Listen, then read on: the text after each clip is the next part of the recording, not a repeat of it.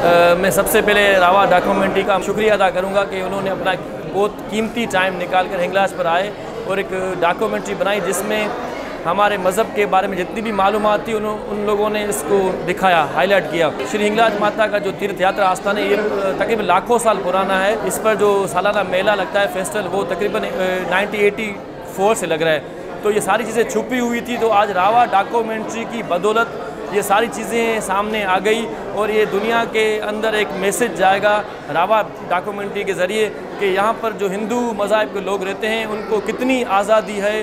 पाकिस्तान में जो लोग बातें करते हैं, जो उंगलियाँ उठाते हैं कि पाकिस्तान के अंदर नेगेटिव चीज़ें हो रही हैं गैर मज़हब के लिए तो आज उस रावा डॉक्यूमेंट्री के ज़रिए एक बहुत अच्छा मैसेज जाएगा एक पॉजिटिव मैसेज जाएगा और रावा डॉक्यूमेंट्री की तरफ़ से ये भी उनको दिखाया जाएगा कि हिंगलाज माता की अहमियत क्या है, वो कहाँ पर है वो उसका सफ़र किस तरह है, और लोग किस तरह वहाँ पे आते हैं, किस तरह पूजा पाठ करते हैं, ये सारी चीज़ें रावा डॉक्यूमेंट्री के ज़रिए लोगों को पता चलेगा।